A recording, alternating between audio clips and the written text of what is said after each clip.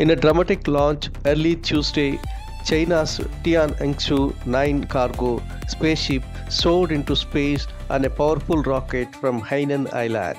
After a tense 10 minutes journey, it successfully entered orbit, unfolding its solar panel and making a major victory. Filled with vital supply for the space station and the crew, this mission is a brave step in China's world space adventure.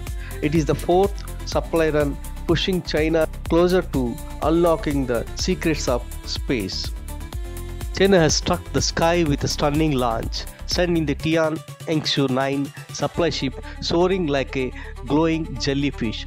It's on a daring mission to deliver essential supplies to the brave taikonauts orbiting above, lighting up the universe with hope and adventure.